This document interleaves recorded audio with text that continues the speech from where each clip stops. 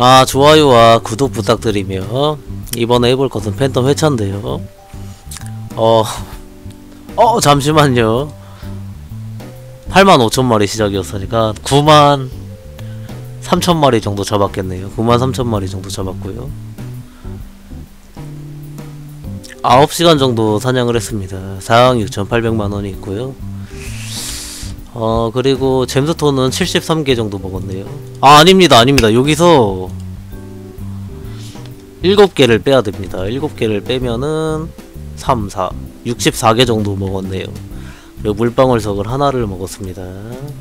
네네. 여기서 하나를 빼 7개를 빼야 돼왜 7개 받은 게 있어가지고. 그렇습니다.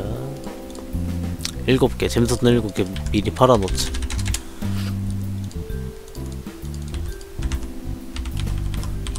좋습니다.